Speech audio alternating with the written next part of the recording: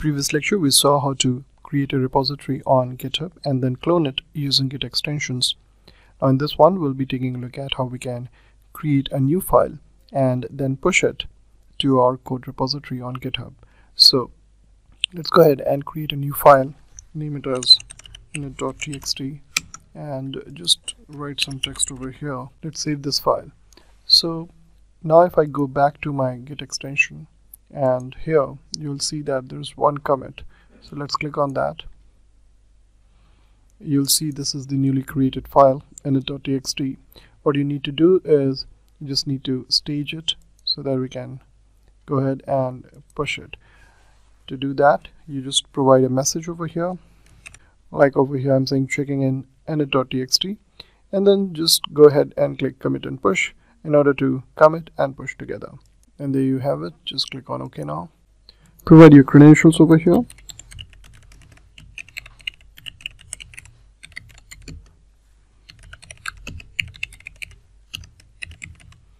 And click on login.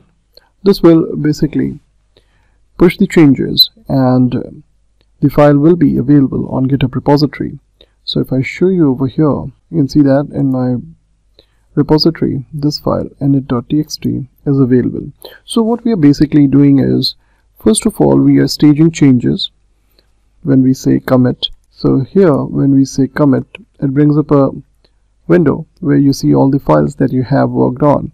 And then you select those files and then you select those files and you stage them to start the commit process. Once you do that this commit change that you have mentioned over here along with a comment is stored locally.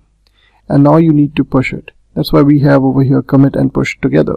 So you just enter the message commit and then say push. When you're saying push it basically takes this file and merges it with the online repository that we have created on github. Now the branch by default that you see is main. So if I say push specifically you'll get this option like branch to push main to and then if you have more than one branches you can choose to which branch you want to push this change. So that's what we are doing as of now. We have created a file we have committed it and then we have pushed it to our remote repository and you can see it over here now. Now what we need to do is if you see main is coming up in red color. So if I go ahead and pull things now by saying over here pull and says already up to date done. So let's click on ok. That means there are no more changes on the server. So when we are pulling from the remote repository all the changes that are newly introduced and have been committed and pushed will be synced to our repository locally.